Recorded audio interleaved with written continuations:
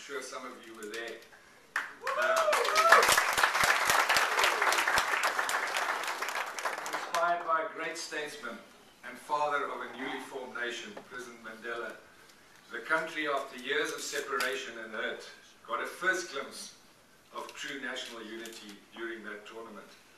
And I'm not going to go through the, the, famous victories of our country, but you can think of the, the Bafana African Nations Cup, uh, the, uh, the, the, the, young guys that win the, the, the, the medley in, that, in um, uh, Ferns, Townsend, and Schoeman in, in Athens. You think of Naki du Toit, you think of uh, Josia Thugwane winning the marathon. Those moments of sporting brilliance, they bring our nation together. They really bring our nation together. And the 95 World Cup, if I can just dwell on that for a moment, uh, was a really special time for me and for our country. We, we got a glimpse of a miracle. I certainly got a glimpse of a miracle when going out on that final day when we were playing against the All Blacks at Ellis Park, and I don't know if you recall, but the Boeing going over Ellis Park, and just that power of that machine, and that's our machine, not just some people's machine, it's all of our machine. That's what went through our hearts.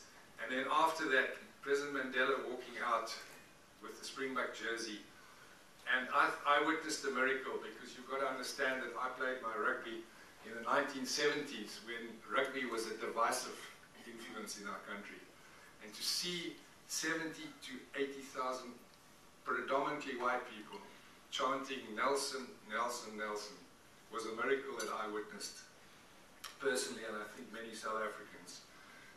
In 2008, the book by journalist John Carlin called Playing the Enemy was published and shortly after a film directed by Clint Eastwood and I met Clint Eastwood. Uh, that's one of my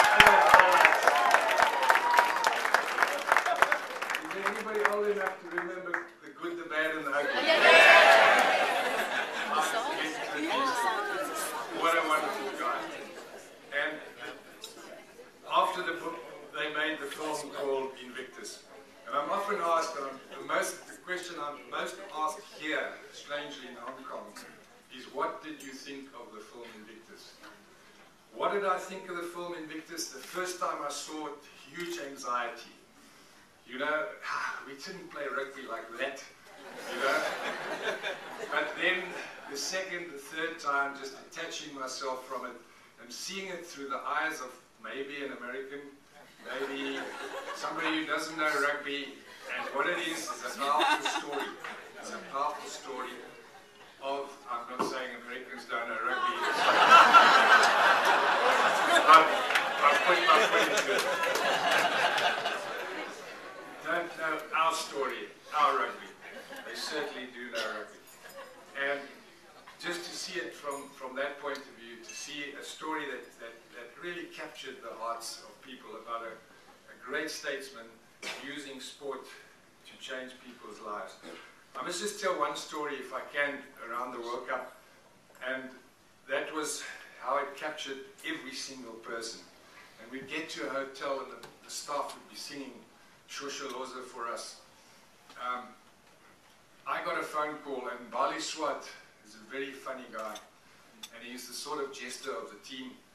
And always with a prank and so on. And I knew that Balie would be up to something. I had to watch him all the time.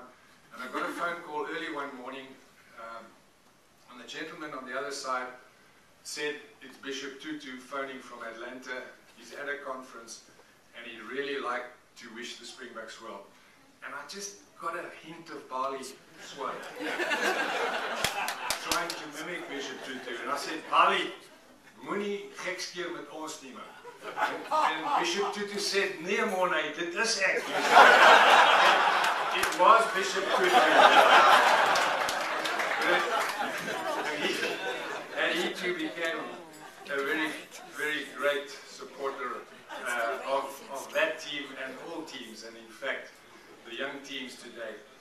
So Just by way of 2010, and we can't not single out 2010 in our country as a sporting moment that ac actually tenfolded what happened in 95. Once again, sport offered, sport that brings us here tonight, sport offered not only a team this time, but a nation to absolutely define who we were. A small country in the big scheme of things, on the tip of Africa deciding to roll up its sleeves, open their hearts and work towards an extraordinary ambitious objective of staging the biggest sporting event in the world.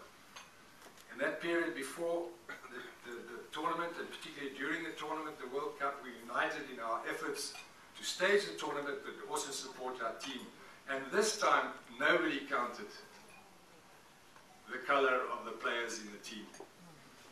They say that generosity is giving more than you can, and pride is taking less than you need. If I may humbly say this, far away from our nation, tonight that our country was a generous and proud nation in 2010.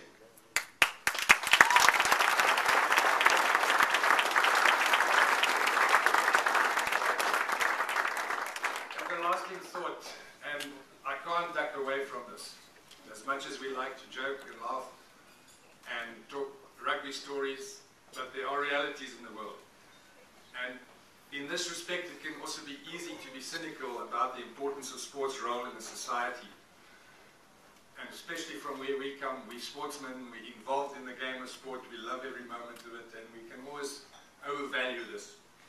And to over-dramatize and overvalue its function in a world where insurmountable climatic, health, educational, political challenge face us.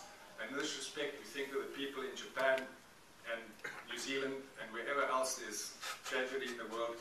It actually would be an insult to those people who suffer every day at the mercy of these influences.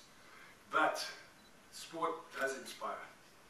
And when you see young guys, like these young guys sitting tonight, and you see them at their best, and you see them winning in Las Vegas, and you see them don't want to touch the money. Possibly winning here. This really inspires.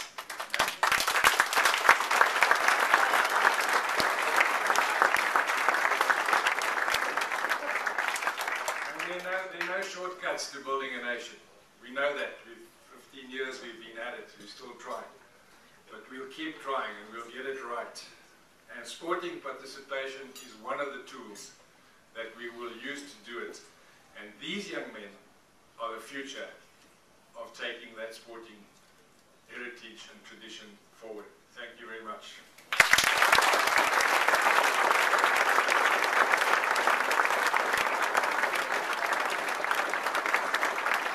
Ladies and gentlemen, big round of applause for Morne.